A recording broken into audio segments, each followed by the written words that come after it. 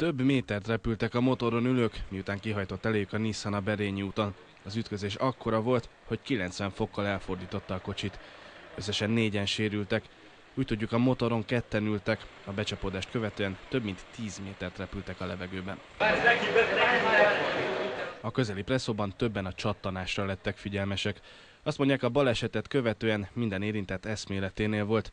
Az egyik motoros az aszfalton feküdt és a hátát fájlalta. Hatalmas nagy csattanásra figyeltünk oda, de mire? Már oda néztem, előbb hallottuk a csattanást, mint ami történt. Azt láttuk, hogy gyerek az odáig repült, ahol most áll a rendőrautó, és akkor mit tudom, oda, én oda mentem, mondom, hogy jöttek oda többen is, és akkor, hogy gerincét fájlalt a srác. Információink szerint a motorosok egyikét derék, a másikat kéztöréssel szállították kórházba.